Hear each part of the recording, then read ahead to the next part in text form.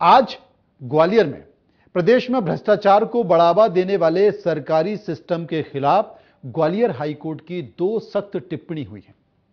ये टिप्पणियाँ शासन और प्रशासन को आईना दिखा रही हैं। ग्वालियर हाईकोर्ट की पहली टिप्पणी नर्सिंग घोटाले को लेकर की है। हाईकोर्ट की ग्वालियर खंडपीठ ने नर्सिंग की परीक्षा पर लगाई रोक को बरकरार रखने का फैसला किया है।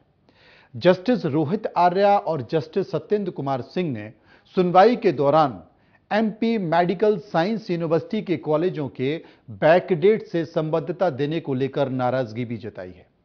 साथ ही सरकार से गंभीर सवाल भी पूछे हैं। दरअसल, सरकार और नर्सिंग कॉलेजों ने परीक्षा पर रोक हटाने की अपील की थी और इसके लिए स्टूडेंट के भविष्य का हवाला दिया था। हाईकोर्ट की बेंच ने सरकार की ओर से पेश हुए अधिवक्ता प्रशांत, महाधिवक्ता प्रशांत सिंह से पूछा कि जब कॉलेजों की मान्यता को लेकर सीबीआई की जाँच चल रही थी। फिर छात्रों को परीक्षा में बिठाने की मंजूरी आपने कैसे दे दी? बेंच ने फटकार लगाते हुए कहा कि हम हैरान हैं कि कैसे कैसे लोग सरकार चला रहे हैं, जिनको आम लोगों के स्वास्थ्य की बिल्कुल भी चिंता नहीं है। हाईकोर्ट की बेंच ने यह भी पूछा कि जब सरकार के पास कोई रिकॉर्ड नहीं है तो फिर बीस हज़ार बच्चों को किस तरीके से बैकडेट में परीक्षा में बैठने की अनुमति दी गई? मामले की अगली सुनवाई 25 अप्रैल को होगी। हाईकोर्ट ने इसी दिन सरकार और प्राइवेट कॉलेजों को दस्तावेज़ पेश करने को कहा आपको बता दें कि हाईकोर्ट ने 27 फरवरी को नर्सिंग परीक्षा पर रोक लगा दी थी। इसमें प्रदेश के 100 से ज़्यादा नर्सिंग कॉलेजों के करीब सवा लाख छात्र प्रभावित हो रहे हैं। खास बात यह है कि इन कॉलेजों को 2019-20, 2021-22 की मान्यता जबलपुर मेडिकल यूनिवर्सिटी ने इसी साल जनवरी में दी थी। जबकि विश्वविद्यालय अधिनियम से स्पष्ट कहा गया है कि सत्र की मान्यता को तीन और चार साल बाद नहीं दिया जा सकता।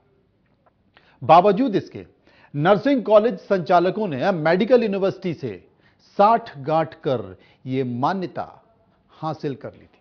सुनिए, वकील महोदय ने क्या कहा? नर्सिंग परीक्षाओं को लेकर के मैंने माननीय उच्च न्यायालय उच्च न्यायालय के समक्ष जो एक पिटीशन दायर करी थी पीआईएल उसमें जो है बहुत समय से गवर्नमेंट चाह रही है कि एक स्टे जो उसमें लगा हुआ है, वो वैकेट किसी न किसी प्रकार से हो जाए। लेकिन चूँकि मामला की गंभीरता इतनी ज़्यादा है कि उसमें गंभीर किसी भी प्रकार से वो स्टे वैकेट नहीं किया जा सकता। माननीय उच्च न्यायालय द्वारा बिल्कुल स्पष्ट शब्दों में माधवक्ता साहब से पूछा गया है कल माधवक्ता साहब उसमें डायरेक्ट उपस्थित हुए थे और लगभग एक घंटे तक ये मैटर चला था। उसमें बहुत इतने प्रयासों के बाद लगातार पूछा गया कि, आखिर ये बताइए हमें कि आपने आपने सीबीआई जाँच जब लंबित है ऑलरेडी उसके मध्य आपने किस तरीके से ये मान्यता इशू करी है? आखिर क्यों करी है और कैसे करी है? किन तथ्यों के आधार पर किन डॉक्यूमेंट्स के आधार पर इनने आपने ये मान्यता दी है? इसका हवाला आप जो है कम, केवल एफिडेविट देने वर्ष मात्र से काम नहीं चलेगा। आप इसके समक्ष हमारे माननीय न्यायालय के समक्ष जो है आपको कागज़ और डॉक्यूमेंट्स प्रस्तुत करने पड़ेंगे कि किन दस्तावेजों के आधार पर आपने ये मान्यता जो है भूतलक्षी प्रभाव रखते हुए रखते हुए जारी की गई है। तो चूँकि इसमें जो है दो बीस मतलब करीबन 200 कॉलेज इसमें लिप्त हैं जिसमें से करीबन करीबन बीस हज़ार बच्चे इसमें सम्मिलित हैं जिनकी परीक्षा प्रभावित हैं।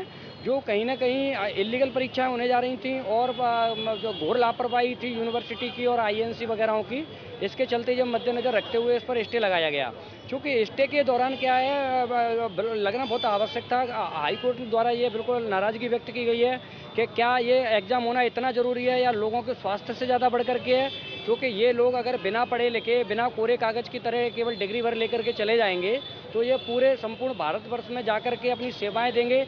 लगभग लगभग पिचासी परसेंट जो पेशेंट जाते हैं मतलब पेशेंट जो जाते हैं, उनका पिचासी परसेंट ट्रीटमेंट कहीं ना कहीं इन नर्सिंग स्टाफ के बलबूते पर ही वहाँ पर जो है सर्वाइव करते हैं। अगर यही लोग पढ़े लिखे नहीं होंगे, इनको बीपी और शुगर तक अगर टेस्ट करना नहीं आएँगे तो आखिर में किस प्रकार से लोगों का इलाज कर पाएँगे? तो इनको, इनके एग्ज़ाम आखिर पे क्यों होना चाहिए? क्या हम, आप हमें एक वजह बता सकते हैं, इसके लिए हम इनके एग्ज़ाम कराई जाए?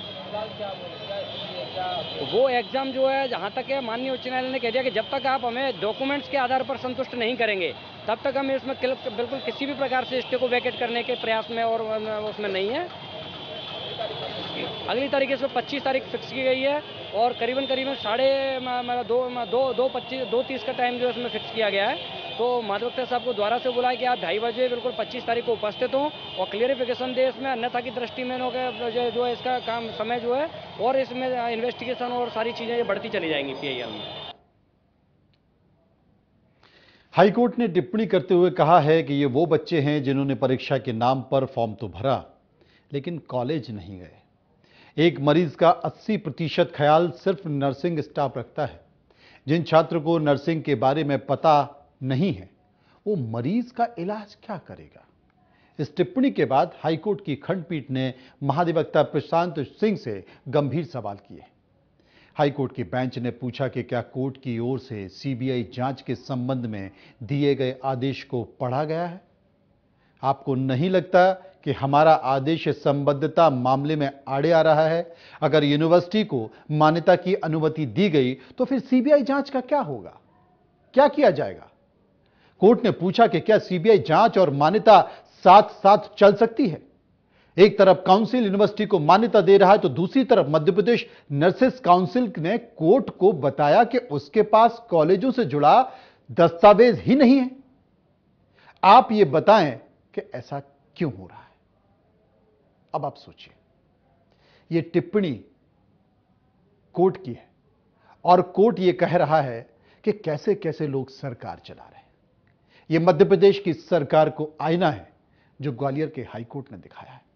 यानी कि उम्मीद लोगों को कोर्ट से, सरकार से नहीं। और रास्ता भी कोर्ट ही दिखा रहा है और आईना भी कोर्ट ही दिखा रहा है। आगे बढ़ते हैं। एक और मामला, एक और मामला जिस पर हाईकोर्ट ने आईना सरकार को दिखाया है।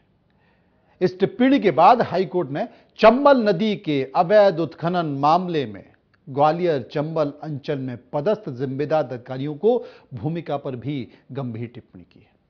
जस्टिस रोहित आर्या और जस्टिस सत्येंद्र कुमार सिंह की बेंच नहीं बुधवार को हुई सुनवाई में भिंड के खनिज अधिकारी और डिप्टी डायरेक्टर को अवमानना का दोषी करार देते हुए पूछा कि क्यों ना आपको सजा दी जाए। आप दोनों भ्रष्ट अधिकारी हैं। चूँकि इनके हाथों में ग्रीस नहीं लगा है इसलिए ये कोर्ट के आदेशों का पालन नहीं कर रहे हैं। हम देखते हैं कि मुरैना के पास चम्बल नदी के किनारे रोज सुबह सुबह पाँच से आठ बजे तक ट्रैक्टरों की लंबी लंबी लाइनें लगी रहती हैं। कोई पूछने वाला नहीं कोई निगरानी करने वाला नहीं है, कोई अवैध उत्खनन रोकने वाला नहीं है। ये रेत कहाँ से ला रहे कोर्ट के, कोर्ट ने सुनवाई के दौरान अतिरिक्त महाधिवक्ता अंकुर मोदी से पूछा। कि चीफ जस्टिस के 14 मार्च 2023 के आदेश का पालन क्यों नहीं किया गया? कोर्ट ने जब उनसे पूछा कि ईटीपी जारी क्यों नहीं की तो वे संतोषजनक जवाब नहीं दे पाए। कोर्ट ने कहा कि तुम आदेश का पालन इसलिए नहीं कर रहे हो क्योंकि तुम्हारी सेवा पूजा नहीं हो पाई है। कोर्ट में मौजूद डिप्टी डायरेक्टर संतोष पटेल जब सही तरीके से जवाब नहीं दे सके तो हाईकोर्ट ने कहा कि यह आदतन बदमाश हैं। किसके बारे में? सरकारी अधिकारी और कर्मचारियों के। क्या ये आदतन बदमाश हैं? कोर्ट ने दोनों को अवमानना का दोषी ठहराया और यह पूछा कि क्यों ना आपको अवमानना की सजा दी जाए। दरअसल भिंड निवासी रवि मोहन त्रिवेदी ने याचिका दायर करते हुए एक लाख चौरानवे हज़ार क्यूबिक मीटर रेट के संबंध में ईटीवी जारी करने और रेत की सुपुर्दगी देने की गुहार लगाई। जिस पर जनाब टालम टोली करते रहे, जिस पर जाँच हुई, मामला कोर्ट में गया, कोर्ट ने तमाम तथ्यों के आधार पर पाया कि अगर आपको नहीं मिला सेवा पानी जिसका ज़िक्र कोर्ट कर रहा है तो आप पेंडिंग कर रहे हैं। आप कोर्ट के आदेशों को भी नहीं मान रहे आप सोचिए कि ये अधिकारी और कर्मचारी कितने मट्ठर हो गए हैं। यानी कि अदालत के संकेत साफ़ साफ़ हैं कि अधिकारी कर्मचारियों में किस तक भ्रष्टाचार है कि वो कोर्ट के आदेशों को भी नहीं मान रहे हैं। और यही बात संघ और संगठन और सरकार की बैठकों में हो रही है। यानी जब बीजेपी चुनाव की तैयारी करने जा रही है, वहाँ पर भी यह बात हो रही है। वहाँ पर भी नेता और तमाम कार्यकर्ता इस बात का ज़िक्र कर रहे हैं कि जो मशीनरी है सरकारी, उसमें भ्रष्टाचार पर्याप्त है। बिना पैसे लिए कोई काम नहीं होता है। दो तरह की बानगी। साफ़ तौर पर आपको दिखाई देती है। लेकिन क्या अदालत के इस आदेश के बाद चीज़ें बदलेंगी? कह नहीं सकते। तब जबकि प्रदेश के मुख्यमंत्री साफ़ तौर पर कहते हैं कि अगर किसी ने रिश्वत ली, भ्रष्टाचार किया तो वो उसे ज़मीन पर गाड़ देंगे। लेकिन जनाब, ज़मीन में गाड़ना तो छोड़िए, यहाँ पर कोर्ट कह रहा है तब भी नहीं सुना जा रहा। और कोर्ट कहता है कि आपकी सेवा पानी हुई नहीं, आपके हाथों में ग्रीस नहीं लगा, इसलिए आपने ऐसा किया है। वाकई, ये सरकार के लिए और सरकार की कार्यप्रणाली के लिए आईना है, जो अदालत ने दिखाया है। हो सकता है कि जहाँ चीज़ें बदलें, लेकिन दिल्ली से लेकर प्रदेशों तक उम्मीद अब सिर्फ़ अदालतों से है। और अदालत भी तमाम चीज़ों को देखते हुए सख्त हो रहा है और उसी लिहाज से फैसले भी दे रहा है।